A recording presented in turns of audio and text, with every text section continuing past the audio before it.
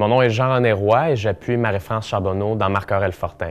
Pourquoi est-ce que j'appuie Marie-France? Oui, c'est vrai qu'elle est professionnelle, c'est vrai qu'elle est engagée, mais avant tout, c'est une femme qui est humaine, qui connaît les gens, qui est consciente de son environnement, consciente de son entourage, et je pense que dès qu'elle sera élue, elle va le mettre la main, euh, la main à la pâte pour faire en sorte que la circonscription avance. Elle va être à l'écoute des gens qui l'entourent, à l'écoute de ses citoyens. Donc, j'appuie Marie-France Charbonneau dans Marc-Aurel Fortin.